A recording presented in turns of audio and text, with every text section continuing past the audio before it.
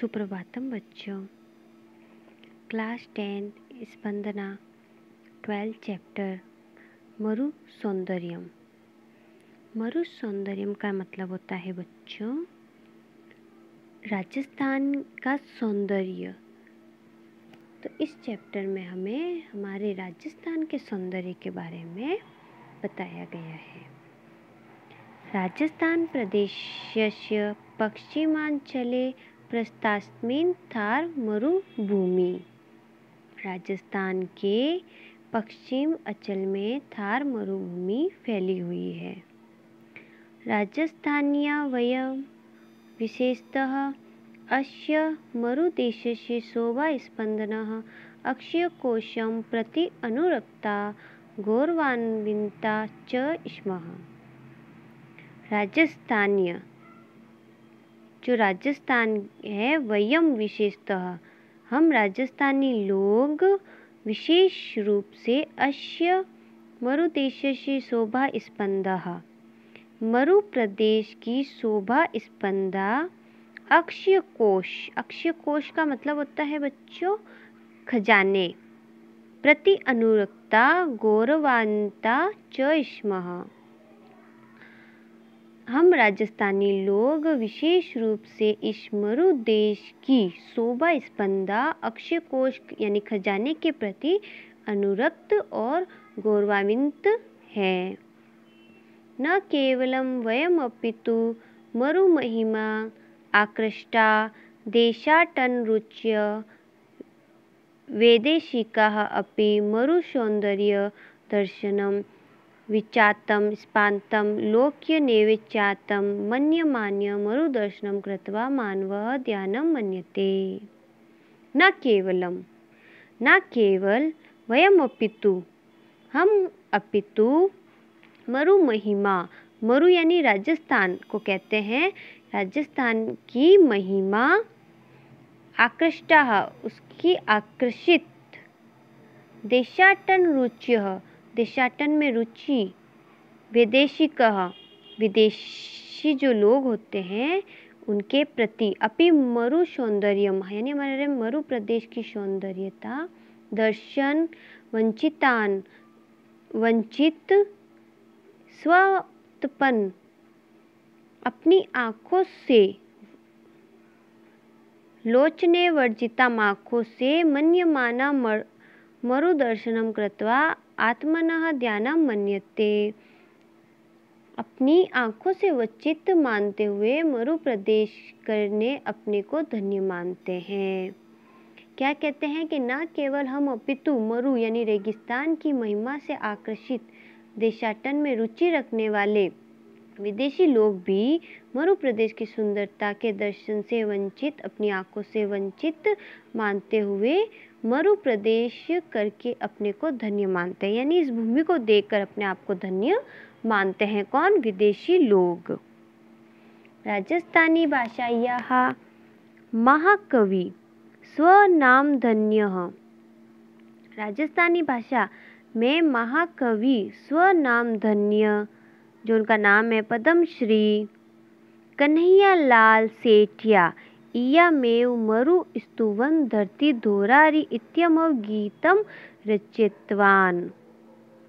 हमारे जो राजस्थानी भाषा के जो महाकवि है, उनका नाम क्या है जो पद्मश्री कन्हैया लाल सेठिया ने इस धरती की स्तुति करते हुए धरती दोरारी टीवो की धरती, इस अमर गीत की रचना की थी। धरती दोरारी किसने गाया था? कन्हैया लाल सेठिया ने। उन्होंने इस गीत की रचना की थी। आधुनिक आधुनिकाः संस्कृतकवयो अपि मरुभूमि गौरवागम कृतवतः आधुनिक संस्कृत कवियों ने भी अपने काव्य में मरुभूमि का गौरवगान किया था।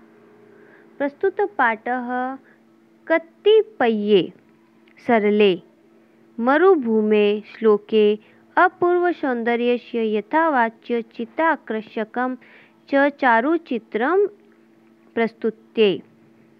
प्रस्तुत पाठ में कुछ कतिपय सरले, कुछ सरल श्लोके, श्लोक से मरुभूमि, यानी मरुभूमि, राजस्थान की भूमि के अपूर्व सौंदर्य का यथावत चित्रण, चित्ताकर्षण यानी चित्र आकर्षण और सुंदर चित्र प्रस्तुत किया गया है। अब हमारे राजस्थान भूमि के बारे में कवि क्या कहता है, यह पढ़ेंगे। कवि हमें क्या बतलाना चाहता है? शरीर शरीर विज्ञान विच, विचरणेन प्रशंसितोयम चरकेश्वचरेण स्नेहार्द भावक शुल्को अपि नित्यम शरशः स देशः। कवि हमें क्या कहता है? शरीर विज्ञान शरीर विज्ञान के विचश्रेण, यानी विशेषज्ञ। प्रशांतिको अयम चरकेश्वेण आचार्य चरक द्वारा प्रशस्तित। स्नेहार्द यहाँ स्नेह, धृतादि तथा प्रेम के कारण भावेक वैशिष्ट्य, भाव से वैशिष्ट्य शुष्को अपि नित्य शर्ष स देश। क्या कहते हैं? जो हमारी भूमि है, जो हमारी मातृभूमि है, वह शरीर और विज्ञान के विशेषज्ञ आचार्य चरक द्वारा प्रशंसित है। ऐसा कहा जाता है कि यह देश मरुदेश सूखा होते हुए भी स्नेह से भरपूर है। स्वादिष्ट तथा आनंदमय है जो भी इस देश में आता है, वो स्नेह पाता है। मरु सुवर्णो न ही येन दृष्ट। किम तेन दृष्टिम कुहचितः सुदृश्यम स्फुटम माराउ भ्रांति सुमेरु अंगणा विलासु कृष्णाशु न ते ही मृग्या। कवि क्या कहता है, हमें मरु सुवर्ण न ही ये दृश्य। जो हमारी मरुभूमि है, वो सोने जैसा सुंदर वर्ण वाली है। किम तेन दृष्ट कुह चित्र सुदृश्यम। जिसे, जिसने नहीं देखा, वह कहीं अच्छा दृश्य कहाँ देखा? स्फुट मराउ भ्रांति सुमेर अंगा सुमेर जो पर्वत की चोटियाँ है, जो सीकर है, उसके समान ही मरुस्थल भूमि में स्पष्ट उसकी शोभना बताई गई है कि लाशु कृष्णाशु न ते मृग्य। जैसे पर्वतों की काली शिलाओं से उनकी शोभा नहीं ढूंढी जा सकती है। कहने का तात्पर्य, कवि हमें क्या कहता है? मृग्य का, मृग्य यानी खोजना या ढूंढना योग्य। काली कृष्णाशु श्यामाशु यानी काली। सुमेरु श्रृंगा यानी सुमेरु पर्वत। तो कवि हमें क्या कहता है कि यह जो सोने जैसा सुंदर वर्ण वाला यानी रंग वाला मरुस्थल, कौन? रेगिस्तान।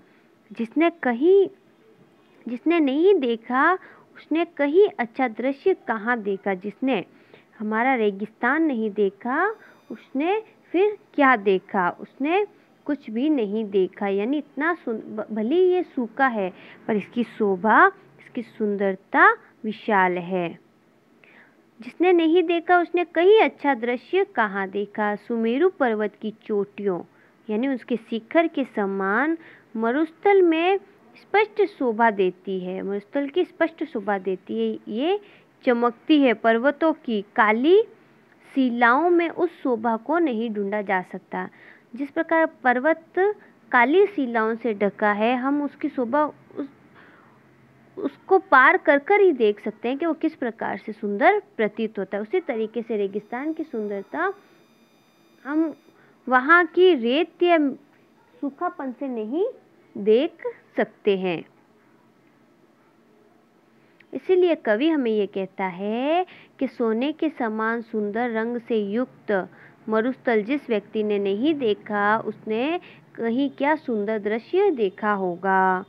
सुमेरु पर्वत की सोने के समान चमकने वाली रज के शिखर स्पष्ट ही शोभा देते हैं।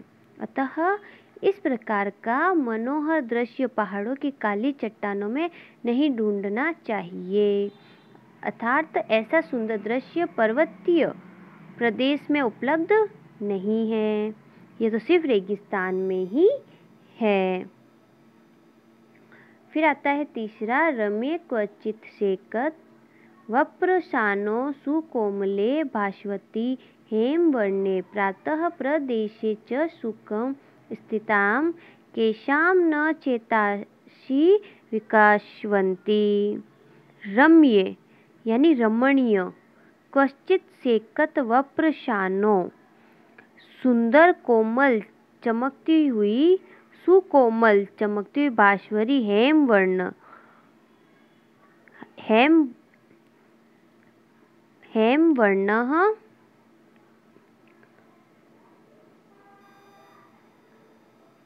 प्रातः प्रदेशो च सुखम स्थिताम। कहीं रमणीय कोमल चमकती हुई सुंदर, सुनहरी रंग की बालू के टीला की चोटी पर केशाम न चेतासी विकासवती। रात्रि काल में सुख पूर्वक बैठे जिसके मन में विकसित नहीं होते, अर्थात सबके मन प्रफुल्लित हो जाते हैं। क्या कहता है कवि के कहीं रम्य, कहीं रमणीय, कोमल, चमकती सुनहरे बालू के टीलों पर प्रातः व रात को सुखपूर्वक बैठे हुए किन मनुष्य के हृदय में विकसित या प्रसन्न नहीं होते? अर्थात सभी के हृदय में प्रसन्नता से खिल जाते हैं।